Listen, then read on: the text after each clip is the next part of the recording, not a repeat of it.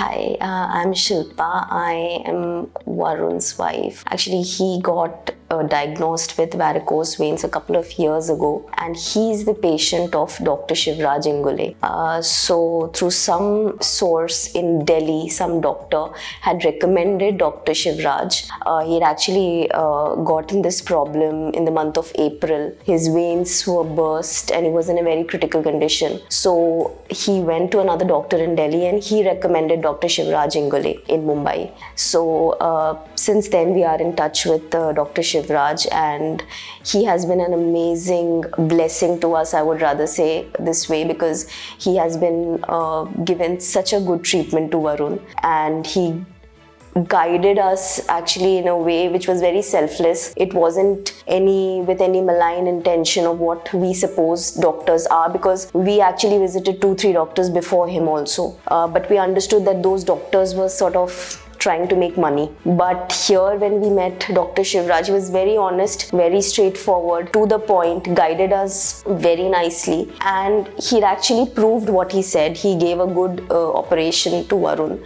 and today there is the result that he's absolutely fit and fine on his uh, toes, and he's absolutely doing well. So I think Dr. Shivraj has been an amazing doctor, and I would actually recommend him to all the patients who are suffering from varicose veins because he's incredible incredibly good. He knows what he's doing. He guides the patients uh, very nicely. He's very patient as a person. And I mean, yeah, that's what I can say about him.